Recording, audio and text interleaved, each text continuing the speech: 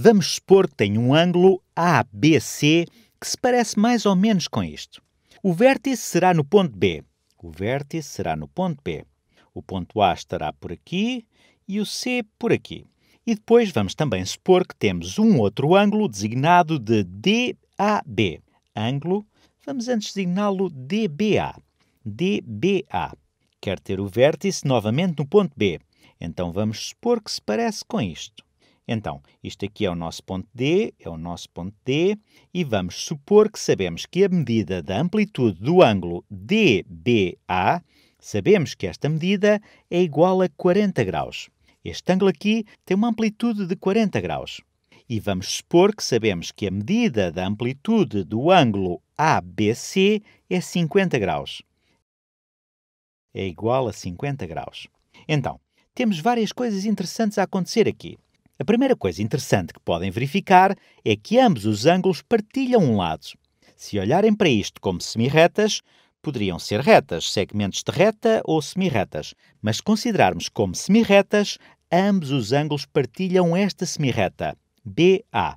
E quando dois ângulos como estes partilham o mesmo lado, chamamos-lhes ângulos adjacentes, porque a palavra adjacentes literalmente significa juntos.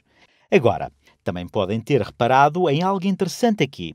Sabemos que a amplitude do ângulo DBA é 40 graus e a amplitude do ângulo ABC é 50 graus. Podem ser capazes de adivinhar qual é a amplitude do ângulo DBC. Amplitude do ângulo DBC. Se desenhássemos aqui um transferidor, não vou desenhar, o meu desenho seria muito confuso. Bom, talvez o desenho muito depressa. Então, se tivéssemos aqui um transferidor, veríamos claramente que este tem uma amplitude de 50 graus e aqui tem uma amplitude de mais 40 graus.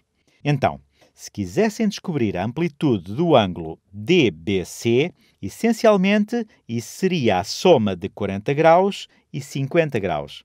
E deixem-me apagar isto tudo para manter as coisas limpas.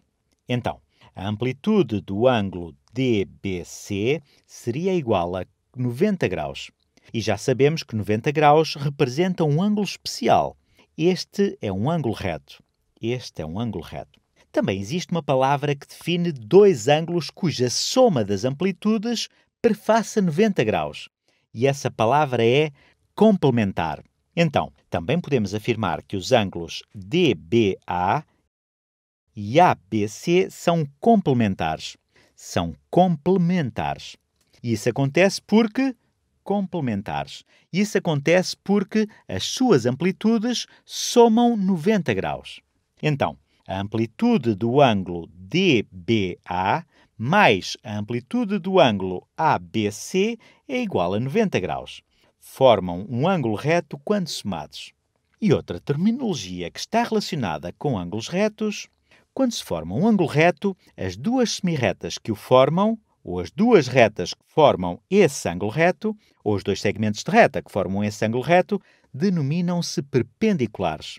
Então, como sabemos que a amplitude do ângulo DBC é 90 graus, ou este ângulo DBC é um ângulo reto, isso diz-nos, isso diz-nos que DB, o segmento de reta DB, é perpendicular, é perpendicular, perpendicular ao segmento de reta BC.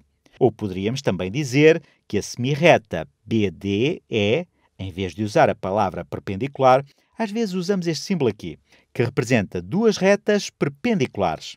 BD é perpendicular a BC. Então, todas estas afirmações estão corretas e elas surgem do facto de o ângulo formado entre DB e BC ser um ângulo com uma amplitude de 90 graus. Agora, temos outras palavras que usamos quando dois ângulos se adicionam de outra forma.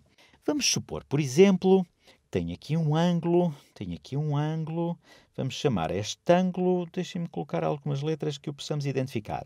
Então vamos supor que isto é x, y e z. E vamos supor que a amplitude do ângulo x, y, z é igual a, é igual a 60 graus. E vamos supor que temos outro ângulo aqui. Temos outro ângulo aqui. Vamos chamá-lo, vamos chamá-lo, vamos supor talvez M, MNO. MNO. E vamos supor que a amplitude do ângulo MNO é 120 graus. Então, se quiséssemos adicionar estas duas amplitudes, deixem-me escrever isto.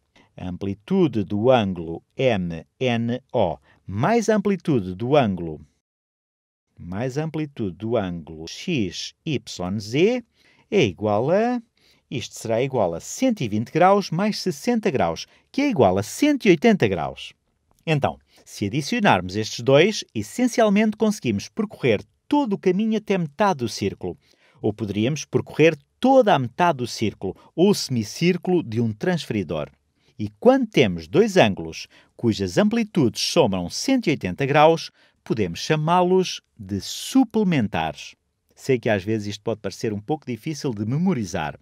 90 graus é complementar, eles complementam-se um ao outro. E depois, se somarmos até aos 180, temos suplementares. Temos ângulos suplementares, ângulos suplementares. E se temos dois ângulos suplementares que são adjacentes, ou seja, partilham um lado, deixem-me desenhar isto aqui.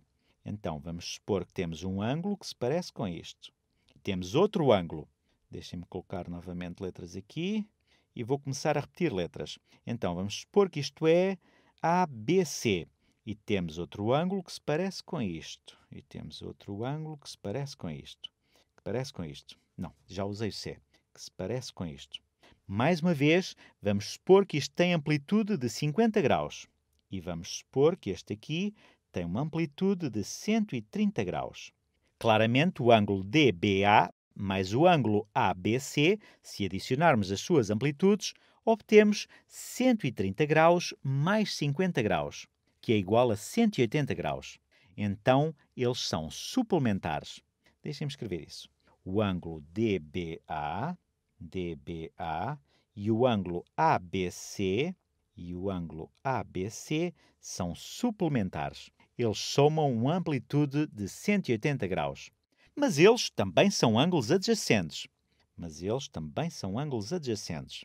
E porque são suplementares e adjacentes, se olharem para o ângulo mais abrangente, o ângulo formado pelos lados que eles não têm em comum, se olharem para o ângulo DBC, ângulo DBC, isto é essencialmente uma linha reta, que podemos chamar de ângulo raso.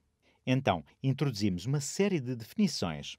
E agora penso que temos todas as ferramentas que precisamos, todas as ferramentas que precisamos para começarmos a fazer algumas demonstrações interessantes. E apenas como revisão, falámos sobre ângulos adjacentes e sobre ângulos que se adicionam tenham uma amplitude de 90 graus, que são considerados complementares. Isto soma 90 graus. Se eles forem adjacentes, então os dois lados exteriores formarão um ângulo reto. Quando temos um ângulo reto, os dois lados de um ângulo reto são considerados perpendiculares. E depois, se tivermos dois ângulos cuja soma das amplitudes seja de 180 graus, são considerados suplementares. E se eles forem adjacentes, formarão um ângulo raso. Ou, de outra forma, se tivermos um ângulo raso e conhecermos um dos ângulos, o outro ângulo será suplementar a esse. Eles vão somar 180 graus. Deixo-vos com isto.